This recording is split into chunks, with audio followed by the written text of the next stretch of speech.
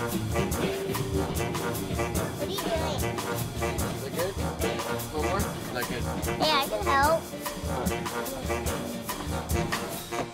Hey guys, thanks for joining us on another episode of Sailing Spyridon. This is the story of a family who sold everything and bought a sailboat. Our mission is to learn together, to spread love and kindness, and to explore the world around us. And of course, we're going to share boat maintenance and how to build or fix things. Hello. We will share our boat projects and crafts that we do along the way. This is our home, and in it, we plan to build a foundation for traveling education so our son and our audience can see how beautiful the world can be. And please don't forget to hit that notification button and the subscribe button, that way you don't miss any future episodes. And check us out on Instagram for some more day to day action. Thanks for stopping in, and we hope you enjoy. Good morning.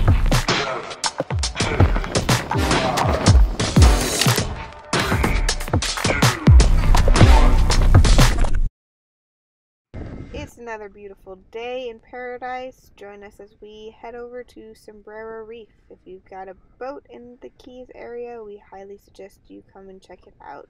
We're going to spend the next couple days hanging out here with our friends Stephanie and Jen and our new friends Sailing Bullseye. Hello, it's a beautiful day in the neighborhood, and by neighborhood I mean we're in the Keys. Hi, everybody. Uh, this morning I decided I'm just going to share with you guys our breakfast. I had made a mixture of zucchini, squash, and asparagus and froze it and put it in the freezer, so I thawed it out this morning. I'm going to crack some eggs over it because we're having a little bit of a late morning and everyone's kind of feeling a little bit groggy, so I'm just give them a little bit of extra energy. Right now I'm sauteing the zucchini, squash, and asparagus in a little bit of butter and then I'm going to add some garlic cloves to it and then pop the egg on top. Uh, I hope everyone is having a wonderful day and Corona isn't killing your vibe because you can make the best out of it or you can suffer in it. And I hope you all are making the best and spending time with your family and getting shit done and so forth. So have a wonderful day. Bye guys. Thank you. Whoa! Big one. Now, now the uh, black and yellow fish are out.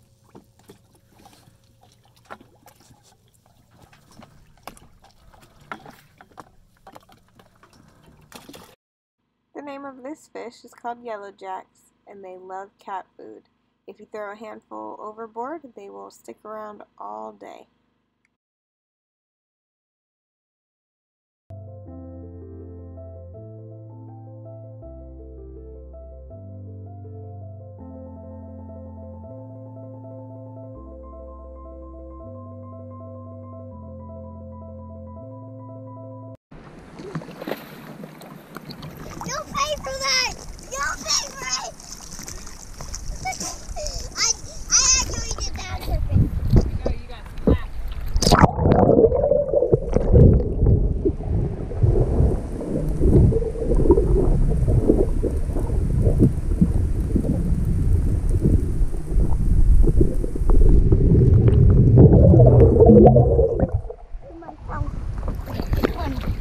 fish are like bright glow in the dark blue.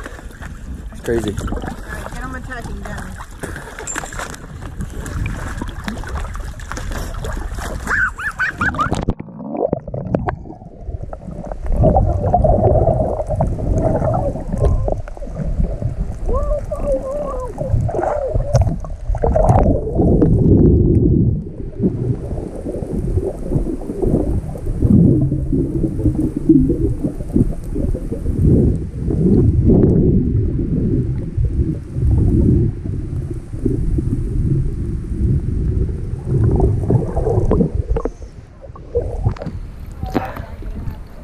Is uh,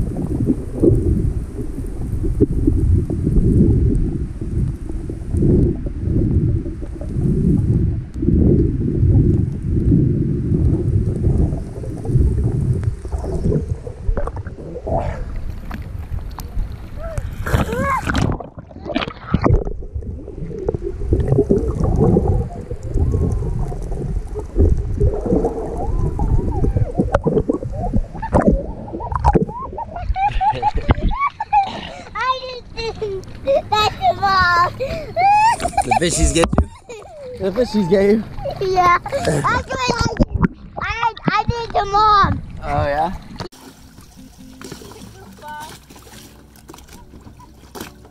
He's laughing so hard. Hey, Jen, come, come back a little bit closer to the boat. There's a boat coming in hot.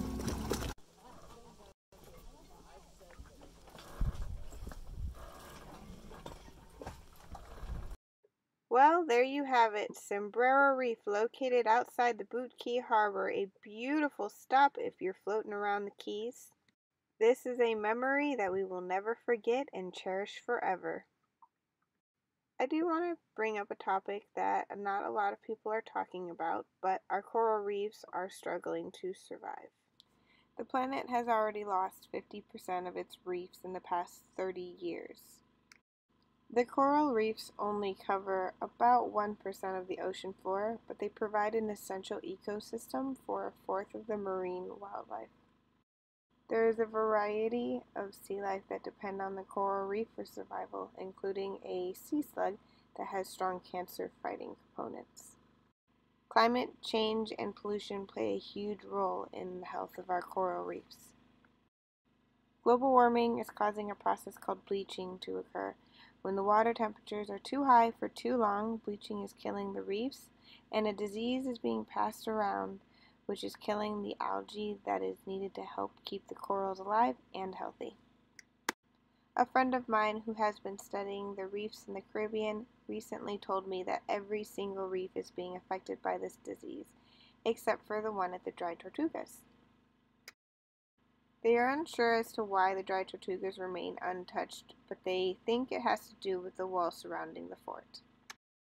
If you are looking for more information on the coral reefs, I will be uploading a separate video with an interview about what we can do to help. If you find yourself scuba diving or snorkeling in the Caribbean and you see a yellow tag on the reef, please take a picture of it and send it to the number on the back.